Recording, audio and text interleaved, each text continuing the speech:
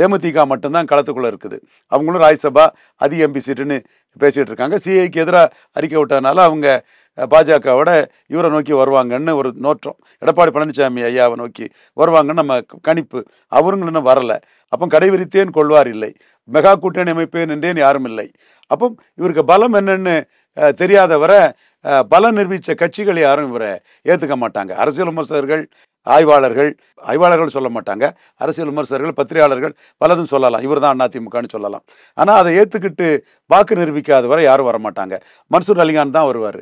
ஜெகன்மூர்த்தி தான் வருவார். General secretary அவர் தானே பொதுச்செயலர் அவருக்கு அப்படிதானே அங்கீகாரம் கொடுத்திருக்கு. அவர் எல்லாமே எத்தனை பேர் இருக்காங்க? பின்னாடி எம்எல்ஏ இருக்காங்க. அமைச்சர் முன்னாள் அமைச்சர் இருக்காங்க. இரட்டை தலைமை போன பிறகு ஒற்றை தலைமையில் வாக்கை நிரூபிச்சிட்டாரா? அது அவர் இன்னும் இப்ப இப்பதான் தேர்தல் களம் காண்றாரு. இனிமே தான் வர போறாரு அது வாக்கை நிரூபிச்சாதான் மற்றவங்க நம்பி வருவாங்க. மற்றவங்க சான்ஸ் எடுக்க மாட்டாங்க. நான் என்ன சொல்றேன்?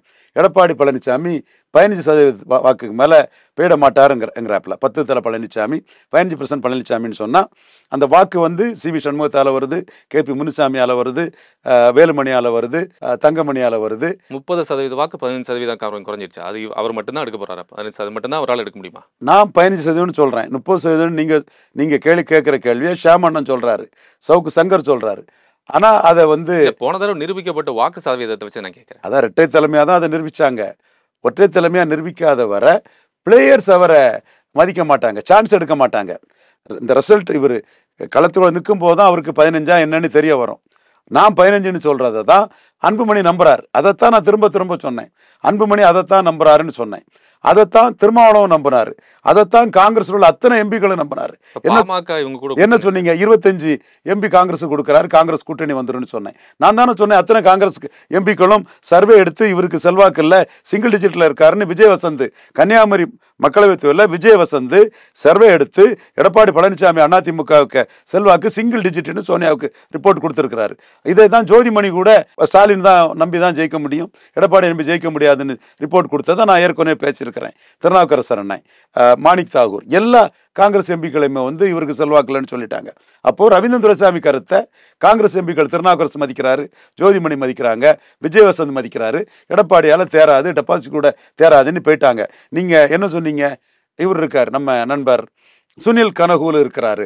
அப்போ சுனில் கனகூர் அங்கே டெபாசிட் கிடைக்காதுன்னு சொல்லியிருக்கிறாரு. அவர் இங்கே எல்லாம் முடிச்சு கொடுத்துருவாரு நாங்கள் அடுத்தால சகோதரர் தொல் திருமாவளவன் வெற்றி வீரராக இருக்கிறாரு. அவர் இங்கே அஞ்சு சீட்டுக்கு வந்துருவாருனாங்க நாம தான் சொன்னோம் இது பொருந்தா கூட்டணி ஆயிரும் இது வடக்க வன்னியர் கட்சியாட்டு இருக்குது வர மாட்டாருன்னு நம்ம சொன்னோம். இப்போ அவரும் வரல. அப்போ எத்தனை சதவீதங்கிறத நிரூபிச்சாதான் தெரியும். நான் நான் சொல்றது தான் சரின்னு நான் ஒன்றும் முரண்டு பிடிக்க விரும்பல. என் கணிப்பு? களத்துக்குள்ள பயணி சதவீதம் தாண்டிட மாட்டாருங்கிறது நான் ஒரு கணிப்பாக முன் வைக்கிறேன். என் கணிப்பை நம்பி சான்ஸ் எடுக்க முடியாதுன்னு திமுக கூட்டணி கட்சி தலைவர்கள் மற்ற அரசியல் கட்சி தலைவர்கள் எல்லாருமே எடப்பாடி பழனிசாமி அவர் நிரூபிக்கட்டியா பார்த்துக்கலாம் ரவீந்திர சாமி பதினஞ்சுன்னு சொல்றான்ல அவன் சொன்னா நடக்குமே. திமுக கூட்டணி இன்டாக்டா இருக்கு. ஸ்டாட்டஸ்கோ கண்ணி பண்ணுவாங்கன்னா ஸ்டாலின் ஜோதி பாஸ் மாதிரி கண்ணி பண்ணிட்டாப்லையே அப்போ இதுவும் பதினஞ்சா இருக்குமோன்னு பிளேயர்ஸ் வந்து எடப்பாடியை நம்பி சான்ஸ் எடுக்கல. லெட் கிம் ப்ரூவ் அவர் நிரூபிக்கட்டு. ரெண்டாயிரத்தி பதினாறுல நிரூபிட்டா நம்ம என்ன நிரூபிக்கிறாரோ அதை நானும் ஒத்துக்கிட்டு தான் போனோம் அவரும் ஒத்துக்கிட்டு தான் போனோம். நான் இன்னும் களத்துக்கு போக வேண்டியது இருக்கு. கள களப்பணியை நான் அவருக்கு எதிராக சமநீதி சூறையாடல் ஆங்கில களப்பணிக்குள்ள நான் இருப்பேன். அது வேற விஷயம். பட் அதே மீறி அவர் நிரூபிச்சாருன்னா நிரூபிச்சாருன்னு ஒத்துட்டு போறோம்.